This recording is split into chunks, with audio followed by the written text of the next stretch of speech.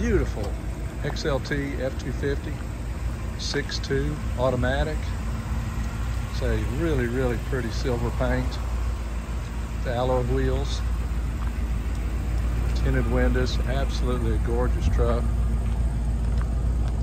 Has step boards in the bed that are going to go with the truck. So, see if I get this young man just do a little drive about with it. Want you to call me with any questions you may have. Terry at Fastline 601 665 5855.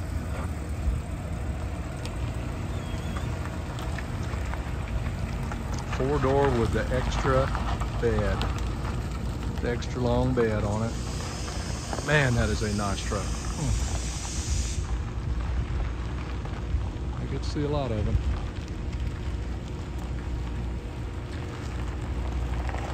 I've actually owned one of those 6.2 gas engines. Put a lot of mileage on one. Over 200,000 in fact. I really liked that engine.